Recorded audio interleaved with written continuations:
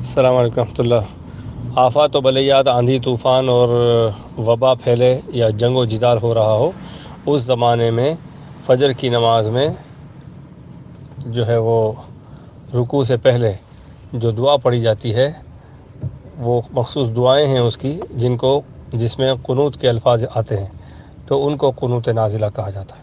उन दुआओं को कनूत कहा जाता है और जब कोई नाजिला होती है, यानी कोई आफत बला मुसीबत होती है तो उस वक्त वो पढ़ी जाती है। फजर की नमाज़ में पढ़ी जाएगी और वो भी दूसरी रकत की रुकू से पहले पढ़ी जाएगी।